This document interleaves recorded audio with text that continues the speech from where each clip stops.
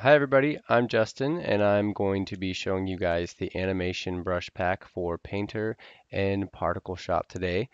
In this brush pack, as you can see by our key image, there are lots of very expressive brushes. Um, these are, uh, as you can tell, of course geared towards animation. And the difference between this one and the concept art brush pack you probably recently saw is these are based off of expressions commonly used among the animation industry in a particle fashion. So uh, again, let's go back to the original of the key image. And we'll be going down the list and I'll be showing you guys how each brush works individually. So excuse me if I, I, will do my best not to get carried away with any of these. There are some of them I had quite some fun making. So let's go ahead and start with drips right here. And again, I want to emphasize that these are for effects, for for and a lot of times in animation we end up with something that's flat and we want to you know maintain a natural look for just our own personal reasons, personal expression, and these are some good brushes to add kind of those splashes. We'll go again, we're going to start going down this list uh, to show some intention here.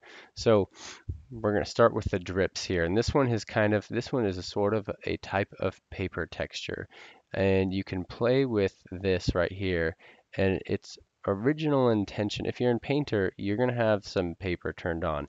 But go ahead and slide that down and its original intention kind of looks like this. Just some nice paper drips.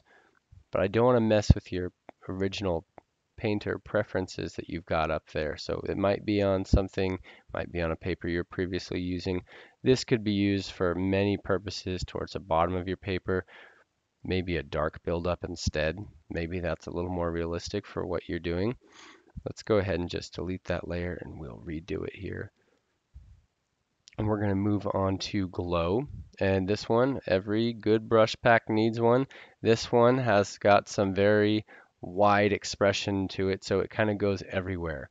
And if you turn your opacity up, let's try it on this little lantern here, it can make some cool little artifacts. So if you've got like a cave or some complicated lighting, this one is very fun to play with. Ink is going to be more of a stationary brush. Um, you're going to want to use it on the side, turn your opacity down to 10 or 20%, and on its own layer, you can play with the different size. Each, if, if you change the size, it kind of seems to change how the expression rolls out. But you can adjust this if it's on its own layer, move it up and down. Maybe you need to tuck it away a little more. Just something to keep in mind. And now let's go to magic right here. And this one sh should definitely be used on its own layer because what you're going to do, this is a really bad picture for this one because the perspective is not correct in this picture. So it's going to have a hard time kind of being easy with me. But let's just use these. So now on your own layer, you're going to turn your opacity down. Let's turn that brush up. And we're just going to make that look a little more natural. And I find kind of the, the less you have of this, the more there is, the more it's kind of an effect you say, oh wow, I just noticed that. Um, so let's move on to the next one. Night Sky, this one is so much fun to play with. This is one of the brushes I could get carried away with very easy. Let's select a color here, but let's make it bright so you can see it. So this one, a lot of times you paint like a big blue sky and it doesn't have a lot, a lot to it. And you got these people looking up at the sky and you don't know whether you should paint seven more trees or, or what the deal is. But this is some nice little night sky splash you can add to any kind of flat sky. At least that's one of the struggles I have. So this is a great brush for that. Before I get too carried away with that, let's just move right on here. And this one is fun. This one, if you've got a dark corner, I struggle with dark corners. I made this little paper thing. So you're going to want to make sure your texture, if you're in Painter, you're going to want to make sure that your, your paper is down low And you can see this makes some nice paper texture that just adds some depth to kind of your your picture, some natural a natural look. You can kind of use it in any kind of area you really want. You ever seen that thick resume paper? It's got those little paper flicks on it. That's kind of the intention of this. Now, however, if you want to turn this up and use it with some grain, that's fun too because it kind of combines the two of them. So let's reset here. Pencil is really fun. I'm going to go ahead and select this color. And this one is fun to just make some marks. And if, let's say, I want to draw in some little, a little bit of wood here, I'm going to go ahead and use my eraser again, and I'm going to back out of it. And look how natural that looks. Something fun to play with, a nice little bold pencil. And push is a good atmosphere brush, but it's got some expression to it. It's a little wormy. You can kind of see it. It's so it's good for if you've got a dynamic scene, you've got some things going on. Let's turn the opacity down. I don't know why I was turning it up. So see how we're pushing this away, but it's got all these cool little. If you look at if you look at the edge of this, that can be fun to play with. That's one again. I'm gonna move on before I get ridiculously carried away from it. Spotlight is very fun because let's say I just want a little add a little glow of something. Right here that'd be perfect. It's let's look at it a little closer. It's a very expressive glow brush that's got some texture to it. So it does cool things. It's not like our other glow brush that whips out. And if you're in Painter, you can choose you can choose what grain that you're that you're using. Uh, I can't think of a good one. You'd have to kind of go in your paper panels, but you can see the difference between this and this is a, just a tad different. It's fun to build your glow around this. Let's move on to Sprite. These are very fun. So in every video game we have these little glowy things that kind of follow characters around. You know which ones I'm talking about. And this particular brush, you turn your grain down or up, but I recommend it down. And you can kind of tap it around and make little, you can put this at the end of somebody's wand. You can put this on their candle.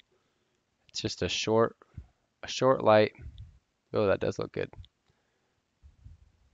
That is just what we typically call a little sprite.